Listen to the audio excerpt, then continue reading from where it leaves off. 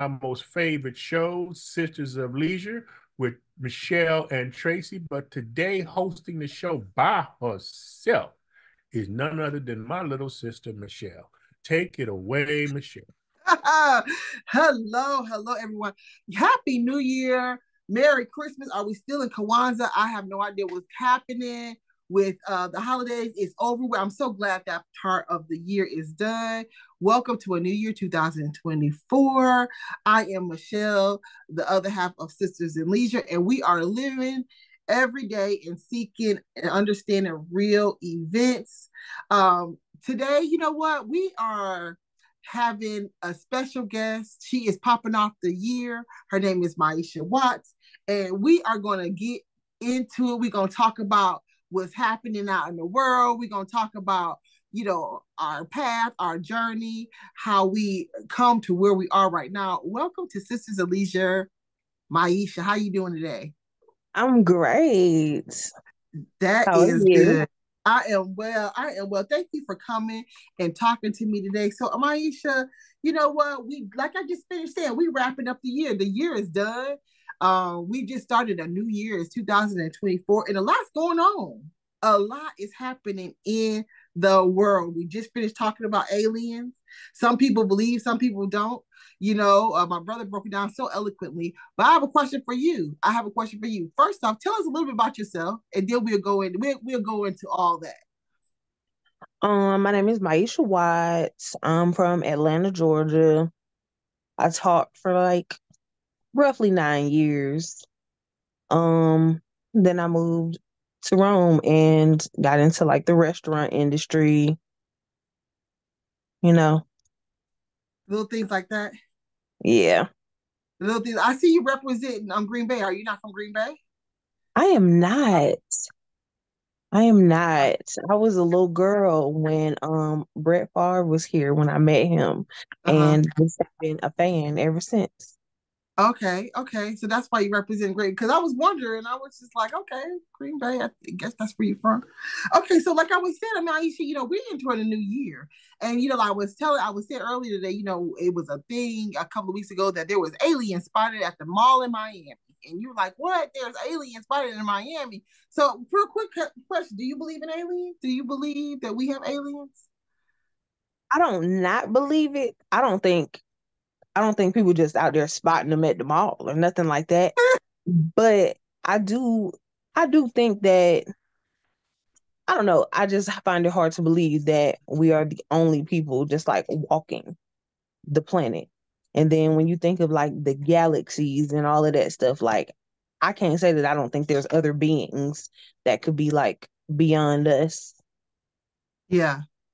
You know, I believe that. I believe I, I believe I believe it would be you know, very um uh small of us to think that we're the only ones to roam the earth. Even though my brother, like I said, tell it so eloquently that yeah, you are, you know, it's but to to believe that there is just us walking around, it, it kind of gives me like, okay, well, that's boring in a way, you know, because there's so many, it's it's so broad, it's so mass, it's so mm-hmm. expensive that, you know, if if if we are not, I would not be surprised.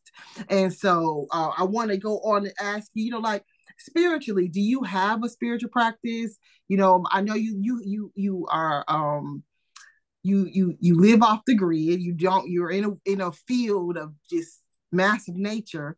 Do you have a spiritual guidance, a spiritual way? Um, yeah, I do. So like I grew up in the church and literally like from birth. And I grew up singing in the choir and like I was never really big on praying. Mm-hmm. But I watched like my family members pray all the time. Mm-hmm. So it mm-hmm. wasn't I got married and into my own domain that I was just like, oh man, like these people ain't just praying for me no more. I gotta pray for myself. And yeah. I didn't really know how to get into doing that because like I don't it was just never my thing. It's just like talking in front of people, like singing in front of people. I just felt like, oh man, this is weird. But then I finally came to terms that like I remember being a kid, this man told me when you pray, you need to talk to God like you talking to anybody else. Mm-hmm. And he was like one he was very different in my church and it was probably one of my only years in vacation bible school that i can really remember anything but like he even broke down like the lord's prayer like each line of what it represented so make sure when you pray this is the kind of stuff that you say mm-hmm. and it's just always kind of stuck with me and so yeah. just like every day you know i always ask god for like traveling graces and i always ask for him to like dispatch my angels all around me because I was told that, you know, God gave us our own angels. And if we don't like dispatch them, they not like looking out for us and protecting us. And again, I don't know how true it is, but it was just something that I learned as a kid. So I always make it a point to say that every day and to just ask for him to, you know, protect me and my husband throughout our journey throughout the day from danger seen and unseen and to like protect my land, my animals, my home when I'm not around and stuff like yeah. that. So like that's usually what I say on a daily basis. Yeah. That's a good spirit, you know, because matter of fact, today I was uh cleaning up and you know, and I use a, a certain uh Florida water to kind of, you know, wipe everything down or whatever, freshen everything up. And my son was like, Well, what are you doing? And I was just like, We, you know, I'm praying over the house, you know, cleaning it, and, you know, getting clearing the air. And he was just like, oh, he thought it was strange. I was like, you better pray over your house. Who else is gonna pray over your house? Yeah, my mom and them told me that. Um, like I never understood the whole people walking around with the sage uh-huh. and like how people like burn sage and cedar and all of that. I just never got it. It was not my thing. And mm-hmm. like I tried it but then I said, I don't see myself doing this every day. I won't do it every day. Yeah. And so I was like, I need to find something that I can say for myself to make mm-hmm. sure that I'm covered on my end because that's not mm-hmm. enough. And like when things get hard, like maybe at work and stuff like that, my mom would be like, girl, you need to take your oil and you need to just pray over that building. And yeah. it, like, I don't care if you got to go from one door to the next door, but you need to make yeah. sure that you you pray over this building, pray over the, your coworkers, pray over all of that because yeah. you know Satan is out to get you. So re- regardless to anything that happens, you need to just pray over all of it. Yeah, yeah. You know, you we we have to. We we that's the only way. Like it, it if we we cannot expect anybody else to do it for us. I tell my kids all the time, no one's gonna do it for you. You gotta do it for yourself. If you don't, if you can't figure it out and do it for yourself, I can't go to my and say, my can you pray that you know everything is good for me and that my family is safe and secure? And no, that's that's gonna come out of your right. mouth. That's gonna happen to for you. So, you know, like we talked on the phone. We've been going back and forth for a few days now, and so we were able to have a conversation, which I would just love so much about the un uh, unseen. You know, mm-hmm. about a time in your life where you have felt like, you know what, this is God. This, I, you know what, there's no doubt that this this event is was divine for you for your eyes to see and for you to believe so can you give us a you know a quickly and tell us a story about where you had no doubt that it was divine for you intervention god however you want to put it okay so I told I had already told you one, but I actually got like another one too. Okay. So like the first one, when I was a kid, I was me and my aunt shared a room, and I was in the bed and I was laying down, and the room next to mine was like my cousin's room and my brother's room. We called it the boys' room because it was so many of them. It was like three or four of them in one room, and like out of nowhere, I just saw something kind of like walk through. It almost looked like it was glowing, and my cousin came through right behind and was like, "Hey, you saw that?" And I was like, "Yeah, I did. Did you?" And he was just like, "Yeah." And I remember getting up, and I was little, but it was just something that always stuck with me. I remember getting up and we walked behind it all the way through the living room, through my grandmother's room. And then we got to the kitchen and it was like gone. But we were scared to go, go that same way. So we turned around and went back the way we came. And he took me back to my room and he went to his. And the next morning we told my grandmama and she was like, Oh, that's just Aunt so and so. She just she just coming through, checking on everybody. She do that every night. And I was like, What? and just to me, I thought it was really weird, but like it was it wasn't something we could explain. And yeah. like had I been the only person that saw it, I probably would have just brushed it off, went back to sleep and thought I was crazy. But yeah. like my cousin is like 10 years older than me. So he was like a teenager and he yeah. was seeing the same thing that I was seeing. And I was just kind of like, oh man, that's weird. And like also like growing up in church, like I always used to hear people like speaking in tongues and I would see them, you know, like start praise dancing. And I would just be like, you know, you think people are faking it sometimes and you just don't mm-hmm. actually know. And one day we had like a youth explosion and this lady had come probably about an hour and i had heard good things about her and we had a great night i feel like you know all like the teens opened up and talked about it and it wasn't like any adults around they were they were there but they weren't with us they were like in the back of the church and so yeah. at the end of the service and the explosion she asked like our pastor and the first lady hey can i pray over a couple of people and they was just like yeah that's fine and so they was like, first off, we're gonna start with the girl in the gray shirt. And I'm looking around like, oh, okay, who the girl in the gray shirt? And it was me. it was me. And I thought to myself, oh my God, I am going crazy. I am not gonna be able to get up here. I don't know this lady. Um, no, I don't want her to be touching on me and praying on me and stuff because I don't know her. And I was real skeptical because my mama always said, I don't like just anybody laying hands on me. Mm-hmm. And so I got up there and like she started speaking my life like I had never heard ever. And I was panicking. Like internally, I was like, how she know this? What is going on? Like I didn't tell her about none of this today. So how does she know that this is what I'm going through and this is what I'm dealing with? And like I really don't even I remember the first half of the stuff that she said to me. Mm-hmm. And then mm-hmm. the next thing I remember, I was opening my eyes and I was sitting on the pew. And okay, my so first lady, my, well, no, I didn't pass. Uh, well, I don't know. I can't say I did or I didn't because nobody ever talked to me about it.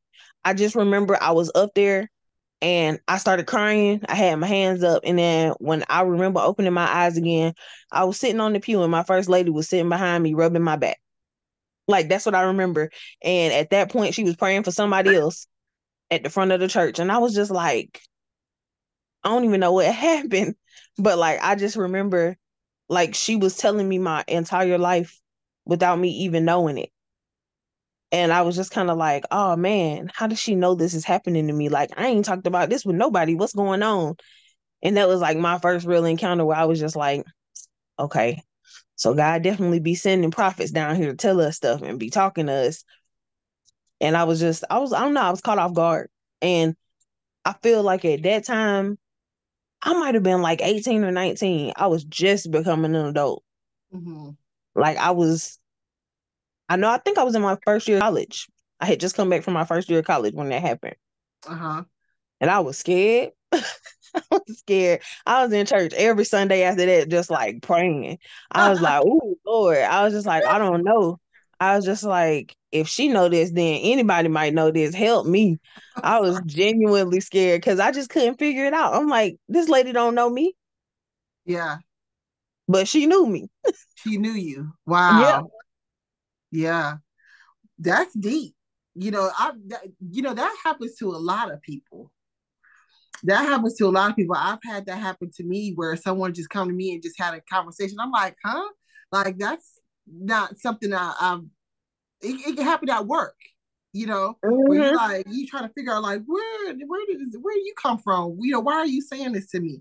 So like um so what role do you think that you know being mindful, being your mindfulness, you know, helps you with your spiritual journey? Like how are you guided through? Like what role does your mindset is playing on your um your spiritual journey right now? I don't know. What do you mean? like we're, we're like okay so do you have um you you you you have a, a spiritual uh thought process so you know like has it has it changed since 2020 like how has your spiritual journey gone how is it is it taking you right now like where are you sitting in it um i don't know i feel like i've always had like a really close connection with god Mm-hmm. And I feel like he's always talked to me like through my dreams. Like when I was a Mhm. kid, I always had very vivid dreams. And my grandmother used to always be like, Hey, if she started telling you about her dreams, make sure you listening to what she's saying. Mhm. And she used to have them all the time. And my brothers and my cousins, they all used to, you know, tell me I was crazy. And they used to be like, no, that's not what's happening.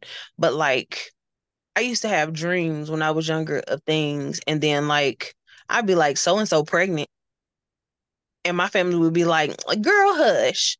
And then it'll be like a month later and they'll be pregnant. And I'd be like, told you. or it would be, it would just be stuff like that. Like I used to tell people all the time, like, hey, somebody in our family about to die in the next like couple of weeks. And they would be like, stop it. Stop saying stuff like that. Yeah. And then within like a week or two, somebody will be done passed away and they'll be like, Lord have mercy, she dreamt this and didn't even tell nobody. And I'll be like, I did. You just didn't listen to me. yeah. And like that was me as a kid. And so like me and my grandmother, we didn't have a super close connection. And I think it's because like we both had like the same attitude. So we was always like button heads. Mhm. And so I just remember one day she told me, you know what? When you have your dreams, you interpret them for yourself. Don't tell nobody no more because people have you feeling like what your dreams are aren't true. And so she was like, it everybody don't have to see it as long as you see it. yeah. And so like in my adult life, I would have like dreams, crazy dreams. And instead of just like coming out and saying, Hey guys, this is my dream, this is what happened. Mhm. I just didn't. And I would just watch and observe. And Yeah. like even like my aunt, I would try to tell her, like, hey, you know, had one of them crazy dreams last night. I ain't gonna go into no detail, but you know, just be watching out for the house, you know, make sure you you driving Yeah. right. Keep your Yeah. seatbelt, all that kind of stuff on. And she would just be like, okay. yeah. And I'd be like, that's that's as simple as I'm gonna keep it. But I just feel like in my life, I'm I still have that same connection that I had as a child. I still wake up and I have crazy dreams, and I tell my husband, and he be like, "Ooh, what?" Is it your you think it's your intuition? Could it be your Mhm. intuition? I don't know. You- Maybe. Because because okay, so it, and I'm so glad we're having this conversation because we are, you know, living every day and seeking and understanding real events. And so like when it comes to um, you know, conversations like that, you know, nothing is cookie cutter, first off. And this is a safe, you know, place to, to so we can have this conversation. And so, you know, I believe that there's no such thing as a coincidence, you know, and so and, I and we- and we need to have conversations like this to start having people talk about what's happened to them and their their dreams and, and and the unseen on things because we always talk about what we see what we see what we see but the unseen is just as powerful. It, it's just as relevant. Hmm the unseen as a scene. You know what i'm saying? It, you know Yeah. it's, and so like you know like when you say grandma your grandma said don't be telling people that. Don't be talking about that. Why not? Why i wonder why why do you think that you know this conversation is something that we sh- really shouldn't be having or people shouldn't have or people tell you don't say that I think for my grandmother, it was because as a child, I had them so often. Like my dreams when I go to sleep at night are so detailed that when I tell them, it take me like 10 to 15 minutes. My husband will tell you he don't remember nothing he dreamt about last night, and he never do. But Yeah. like I can remember multiple dreams from every night. And Yeah. so when they are like the ones that shake me and I Mhm. wake up and my grandma would be like, now there might be God waking you up, but there might be Satan trying to get you too. So make sure that you know what like what you're dealing with. And so Yeah. she just got to the point where she was just like, my dreams were too much. So just stop telling people until you Mm. know, until you know, stop saying stuff. Like because they're not easy to interpret. And so she Mhm. used to just always just be on my case. And so I always went to her with them. Yeah. But as I got older, I didn't because I didn't really talk to her. Like I said, we would butt heads and I would tell her stuff and she would just brush me off. And I would be like, you know what? Whatever. You one of them people too then. Like you Yeah. don't even want to listen to it. And so yeah. I just kind of got to a place where, like here now in my life, if I have a dream, I talk about it. Yeah. I'll call my aunt and I'll be like, hey, this is what I had a dream about. And I might not be able to, go into like full details of everything, but I do yeah. tell her, hey, look, I had a dream about this. So don't be surprised if so and so happened. Like mm-hmm. I got into a car accident a couple days ago. And okay. my aunt was just like, I just dreamed about that. Mm-hmm. And I was like, oh, well, it would have been great if you would have told me. Yeah. you know, that would have maybe made me think and be a little bit more cautious out there. If you had a dream that I had a car accident, it don't necessarily mean that that was gonna happen, but happen. yeah, I would have definitely been a little bit more aware. And like yeah. something that they always said to me, and I never like really got it, and I still don't, was run your dreams backwards. And so it was just like when you see somebody die in the dream, it probably mm-hmm. means somebody having a kid. Mm-hmm. And so, like, if somebody's pregnant, that's when you should be aware of like death. Mm-hmm. So, my grandmother always told me that, and I thought it was weird, but she was never lying to me. Every time I would have like a dream of somebody giving birth, I would be like, "Oh man, so and so just died," and I'd be like, "Dang!" And so it always happened that way. And like people hear it and they think, "Oh man, that's weird." You don't know what you're talking about. Mm-hmm. How you know? Like, but I don't know. It's just it's always been that way in my life. Yeah. And I would have never understood it if my grandma didn't try to explain it to me the best that she could. But yeah. now when I have dreams, I just talk about it. Like she yeah. been gone almost five years, and I'm like, I gotta talk about it. Sorry, grandma. yeah, you know, like I mean, because those things like this, it happens it happens all the time. You know, I've had situations where I'm having a conversation, and then next thing you know, I 30 minutes later, I'm having the same conversation or close to, and someone say the exact same thing that I was just talking to someone else about. I'm like, whoa, wait a minute. That's like double within 30 minutes. Like that has to have some type of significance. That has to, you know, like those synchronicities that always seem to, you know, occur. Mm-hmm. So like, you know, listen, I, I, I start talking about it. Like we it it had we have to understand that there's there there's um there's just power in talking about what is not the norm the the the un, the the not so you know uh, let's see uh common things to talk about I, I i feel it's important and we have to you know start talking about things that are maybe not so um that we don't hear about on a daily basis. So can you go ahead and share um, with us a little bit about your um, a little bit about a dream that you may have had that you know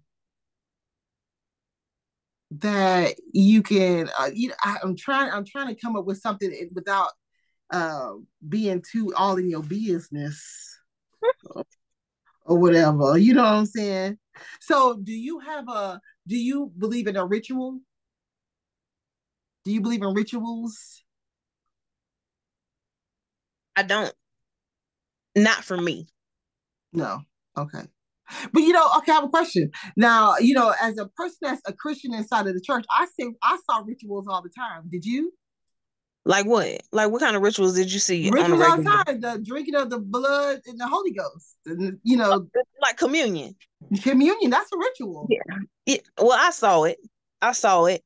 Um, I took it when I was a kid. Every yeah. first Sunday. Every first they Sunday. Made, they had us come in white, and everybody took it. But somewhere down the line, I stopped taking it. Mm-hmm. And again, this was a grandmama thing. She mm-hmm. was just like, she's like, this this is supposed to be you like cleansing yourself. Mm-hmm. And so she would be like, if you ain't got your mind right, don't eat that cracker and don't drink that juice.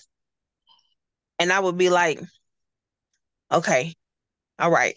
And so yeah.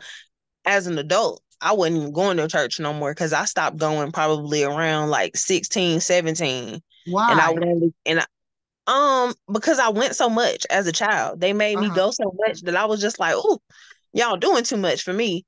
Mm-hmm. And when I turned 16, they wasn't like forcing me to go to church every Sunday. I went every third Sunday because I had to sing in the choir and I was mm-hmm. the vice president of the youth choir. So like I had to be there. Yeah. Then when I went to college, by the time I got back from college, I wasn't going to church every Sunday. I was going if somebody said, Hey, uh so and so wants you to come, will you sing a song today? And that's when mm-hmm. I started going. And mm-hmm. I was mm-hmm. more of just I read my own Bible. I felt mm-hmm. like the church was in me. I didn't have to mm-hmm. go to the church that and like I don't know. I for a minute I felt like I outgrew my church. Mm-hmm. And so I was looking for another church. And before I got married and moved here, I had found the church that I knew I was gonna join and be a member of. Which church was that? I don't even remember the name of it now. It's oh, been like it's been like four, five years. Uh-huh. But it, it was a church that I passed every Sunday of my life to get to church. Yeah. And one day I was at my brother's job. Mm-hmm. And this guy that always worked with him was like, Hey, you should come check out my church. And it just so happened to be my coworker at the time, her mm-hmm. church. And so mm-hmm. I went and I just remember like the music was what I wanted. Like mm-hmm. the way that she would preach was everything. And I was just like, oh my God, I love this church. Yeah. And then I remember going back like twice. And after I went, um, their youth pastor had asked me if I would come in on Fridays and work with the youth. And I was just like, yeah, I will. And then I met my husband and I moved away within yeah. six months of meeting him. And I just, I didn't go back. But every time I go down there, I pass that church and I look and I be like, oh, I wonder how they doing in there. Wonder if the same people still in there because it's been so long. But yeah. it was it was a it was a wonderful church, but I have not been able to find that yeah. up here. Yeah. anywhere. Because when I go to church, I'm looking for somebody that when they preach, like it actually like catches my attention. Yeah.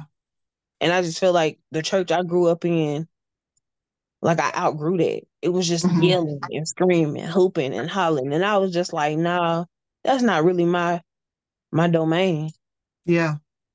And so I don't know. know. We all grow. We all grow spiritually, and you know, and so this is not. You know, I just, I, you know, this conversation is just something I've been wanting to have with someone on Sisters of Leisure because you know we are on a, um, you know, it's it's a new time, it's a new day and age, and so we are, you know, growing things are changing everything is just you getting all this information and you know you know all everyone is guided differently. We i i really do feel like we're no longer cookie cutter.